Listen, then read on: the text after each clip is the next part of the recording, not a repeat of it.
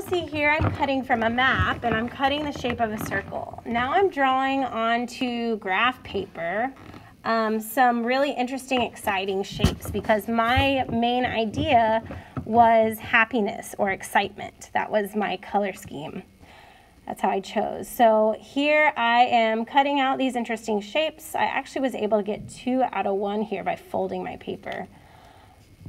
Then I am realizing that my colors were really similar to my background, so I decided to glue the circle onto another piece of paper and repeat blues around that main circle to show repetition and also contrast where things look different so they stand out better.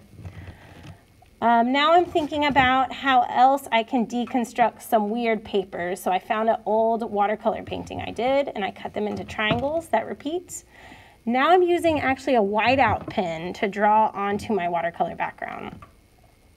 I'm just cutting as I go and kind of arranging. I haven't glued anything down yet so that I can arrange this artwork in many different ways before I could commit to anything. That way I can figure out what looks good to me um, before I make any permanent glued decisions.